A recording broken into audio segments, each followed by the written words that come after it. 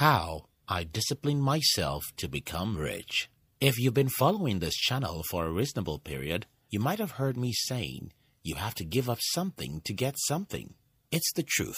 I discovered about 16 years ago, and since I discovered this truth, my life has never been the same. So, starting this video, I'll ask you to do something very simple. Take a sheet of paper or use your phone. Then write the three important things you want to achieve in the next five years. Now that you've written three top things you want to achieve, the next thing is for you to write three to five things you're willing to sacrifice for those things you want to achieve. Since most people will be watching this video on their mobile phones during some busy days, 99% of people can't possibly do the above exercise immediately. But you can do it later. If you do this exercise, you've done what most people in the world would never do their entire life. In my short, difficult years on this planet, I have seen and met so many people, and the one thing I noticed again and again is that most people want to eat their cake and still have it. Most people want to make easy decisions and still have success. Most people want to do what is easy and still get a good result. Most people want to go to heaven, but they don't want to die. Now, Look at the seed of any plant. We need those seeds to grow and reproduce hundreds of their kind. But what do we do to achieve that?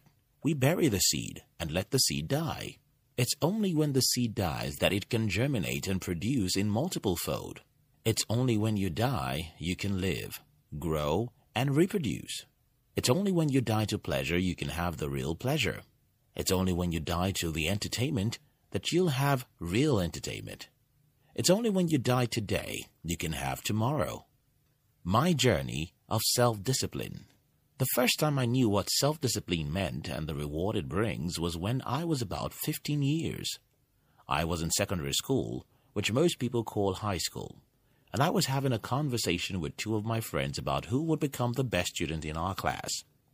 At this time, I was only one of the average students, and I thought that those kids who did well in school were simply using their brains better. Now, I was having a conversation with my friends about who will be the best students in our new class. For whatever reason, I announced to my friends that I will be the next genius of the class, and as expected, they didn't agree with me. One of them simply mentioned the name of the guy he thought would be the next champion. I left that informal meeting with holy anger and determination to do something. I got home and lied to my father that I needed money. Lying is a sin, but I didn't know that time.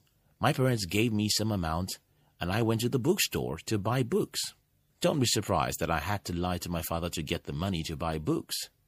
He was a stingy man. I bought books on all of the most important subjects in my class, and I started waking up an hour or two before school to read. One day I woke up to read economics text and got to school. Then our economics teacher came into class to teach us a new chapter. Who can define the opportunity cost? she asked. After a moment of silence, I rose and defined the opportunity cost, which happened to be the very chapter I miraculously read a few hours ago. Good, my teacher said as the entire class clapped their hands for me. I looked back and saw that, for a moment, I was the hero of my class. I loved what it felt like to be hailed and I would sacrifice anything to receive such applauses every day of my school days.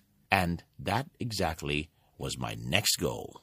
After the economics class, I started thinking about the whole thing. So the guys who had been leading our classes were thieves. So they secretly read and came to class to shine. So this is the secret. From that day, I kept using the same trick. I call it a trick because that was how I saw it then. I increased my self discipline. I would wake up early to read, read after school instead of watching movies, and leave my parents home on weekends to go and read in a silent place. I became the best student in the commercial class, as we call it in my country. And since that time, I never attended any school without beating everyone in whatever class I found myself. I titled this video, How I Disciplined Myself to Become Rich, and then went on to tell you silly stories about my academic performance. How does that make sense? Just give me a minute. I'll show you the sense in my stories. Leopards can change their colors. And not just leopards. Most animals can't. People don't change, and when they change, they still don't easily change. Success and failure are habits. Unlike most habits, it's highly addictive. Because success or failure is a habit, people who know how to successfully continue to succeed, while people who don't know how to successfully continue failing. After I experimented and saw how I rose from the average student in school to become an academic hero everywhere I go, I simply duplicated the same formula for my financial life, and the formula goes like Know what you want, specifically identify what you have to sacrifice for what you want, and be willing to make those sacrifices. The above was the formula that made me the best student in school, and it's the same formula that made me rich. Planning my financial future as a young adult I knew what I wanted. I wanted to have enough money to stop worrying about money.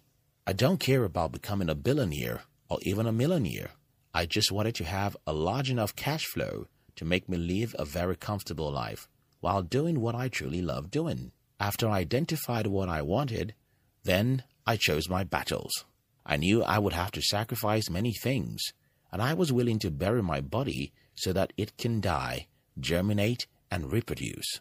Starting in business, I gave myself a decade to make mistakes and fail. This sounds crazy, and I often doubt if I was the one who had such a mindset. How on earth would you decide to fight a battle for 10 years? How would you decide to go through the pains of failures, rejections, and poverty for one decade? I don't know, but that was my decision. I decided to read every book I could find, take every difficult decision and action I could, and discipline myself as much as I can. Most people think that they are weak and can't do difficult things, but that's not true. The reason why you think you can't do difficult things is that you lack the motivation to do difficult things. Yes, the difference between a soldier and a civilian is the motivation. The difference between those who take tough decisions and discipline themselves and those who are fearful is motivation. And that's why we created our new channel to motivate and challenge people